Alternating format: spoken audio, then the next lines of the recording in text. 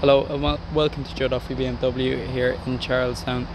My name is Sonny Gaffney and today I'll be showing you this stunning 2020 BMW 330e M Sport Touring. Now the car is finished in a gorgeous Portimao blue and at the front of the car here we have the chrome finished kidney grills alongside the LED headlights and spotlights. As we come around to the side of the car we do have these gorgeous 19 inch multi-spoke M Sport alloys and we also have the black gloss trim around the windows. Now coming around to the rear we do have this gorgeous twin exhaust tip system and we have loads of room in the boot as well as some storage room for the charging cables underneath.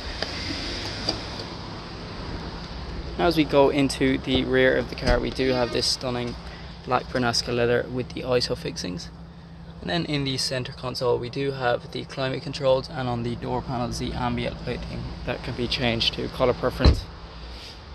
Now as we go into the front of the car we do have this stunning black leather multifunctional steering wheel with the cruise control settings on the left and the media settings on the right.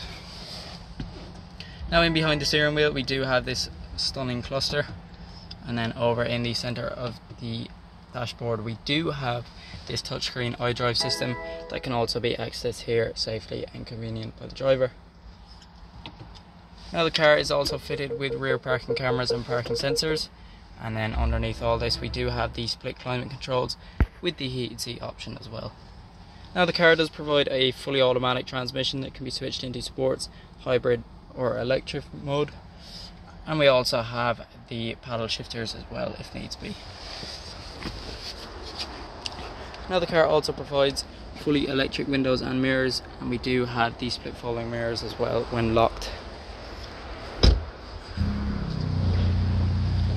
Now if you have any further questions or would like to book a test drive, don't hesitate to call BMW Joe Duffy. Thank you, bye bye.